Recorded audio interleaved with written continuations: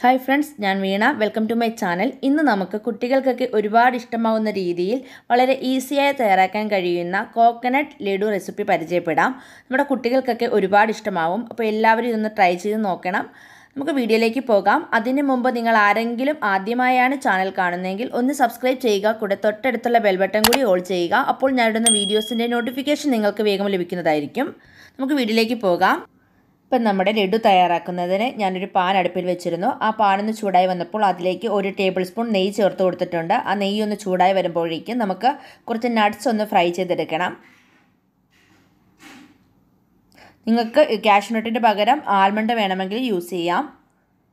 അപ്പോൾ നന്നായി ഒന്ന് ഫ്രൈ ആയി കിട്ടിയിട്ടുണ്ട്. ഇനി നമുക്കിതൊരു പാത്രത്തിലേക്ക് മാറ്റാം. എന്നിട്ട് അതേ പാനിൽ തന്നെ ഒരു കപ്പ് കോക്കനട്ട് പൗഡർ നമുക്കിതൊന്ന് ഫ്രൈ ചെയ്തെടുക്കാം. ജസ്റ്റ് ചൂടാക്കി എടുത്താൽ മാത്രം മതി. തീയൊന്നും കുറച്ച് വെക്കേണ്ട. അടിയിലൊക്കെ ചെറുതായിട്ട് കളർ ചേഞ്ച് ആയാലും കുഴപ്പമൊന്നുമില്ല.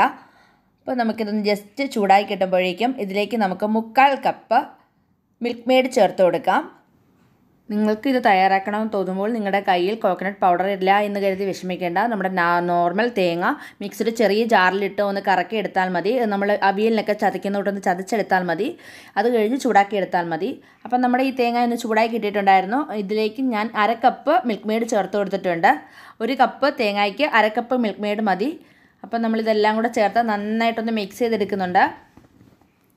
അപ്പോൾ ഞാനിതെല്ലാം കൂടി നന്നായി മിക്സ് ചെയ്തെടുത്തിട്ടുണ്ട്. ഇനി നമുക്കിതിലേക്ക് കുറച്ച് ഫുഡ് കളർ ചേർത്ത് കൊടുക്കാം. ആവശ്യമെങ്കിൽ മാത്രം ചേർത്ത് കൊടുത്താൽ മതി. പക്ഷേ കുട്ടികൾക്കൊക്കെ പെട്ടെന്ന് ഇഷ്ടപ്പെടാൻ വേണ്ടി കുറച്ച് ഫുഡ് കളർ ചേർക്കുന്നത് നല്ലതായിരിക്കും. അപ്പോൾ നമുക്കിത് കളർ കൂടി ചേർത്ത് നന്നായിട്ട് മിക്സ് ചെയ്ത് കൊടുക്കാം. ഞാനിപ്പോൾ ഇവിടെ ഓറഞ്ച് കളറാണ് യൂസ് ചെയ്തിട്ടുള്ളത്.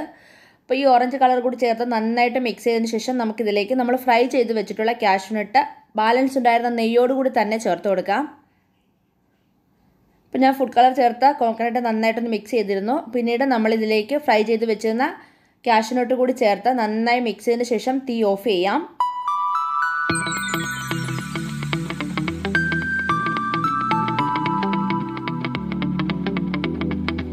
നമുക്ക് കയ്യിൽ വെച്ച് ഉരുള ഉരുട്ടാൻ പറ്റുന്ന ഒരു പാകമായിരിക്കും ഈ സമയം നമ്മുടെ ഈ കോക്കനട്ട് ഉണ്ടായിരിക്കേണ്ടത്. ഇപ്പോൾ നമ്മുടെ ഇത് തയ്യാറായിട്ടുണ്ട്. നമുക്ക് തീ ഓഫ് ചെയ്യാം. അത്യാവശ്യം തണുത്തതിന് ശേഷം നമുക്ക് ചെറിയ ഉരുളകളാക്കി എടുക്കാം ഇത്.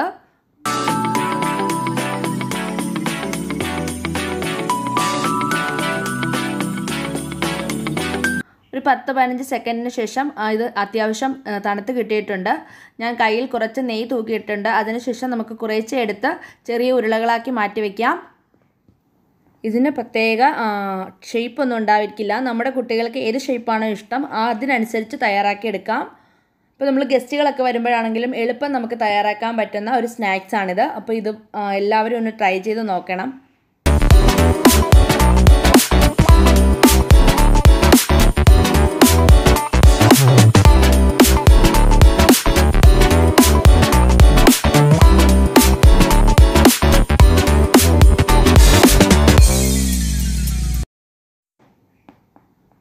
ഇപ്പോൾ നമ്മുടെ ലഡു എല്ലാം ഞാൻ റൗണ്ട് ഷേപ്പിലാക്കി എടുത്തിട്ടുണ്ട്. ഇനി നമുക്ക് ഒന്ന് കവർ ചെയ്തെടുക്കണം.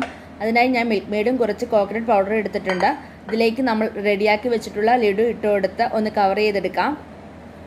അതിനായിട്ട് നമ്മൾ തയ്യാറാക്കി വെച്ചിട്ടുള്ള ലഡു ഓരോന്നും മിൽക്ക് മെയ്ഡിലേക്ക് ചേർത്ത് കൊടുക്കാം. നമുക്ക് മിൽക്ക് മെയ്ഡ് കൊണ്ട് ഫസ്റ്റ് ഒരു കോട്ടിങ് തയ്യാറാക്കി എടുക്കാം ലഡുവിന് മുകളിലായി. അതിനുശേഷം നമുക്ക് നമ്മൾ എടുത്ത് വെച്ചിട്ടുള്ള കോക്കനട്ട് പൗഡർ കൊണ്ട് ഒരു കവറിങ് കൂടി തയ്യാറാക്കി എടുത്ത് എടുക്കാം. നമുക്കൊരു ഭംഗിക്ക് വേണ്ടി മാത്രമാണ് നമ്മളിങ്ങനെ തയ്യാറാക്കി എടുക്കുന്നത്. നമുക്ക് ബാലൻസ് ഇരിക്കുന്ന ലഡു എല്ലാം ഇതുപോലെ തയ്യാറാക്കി എടുക്കാം.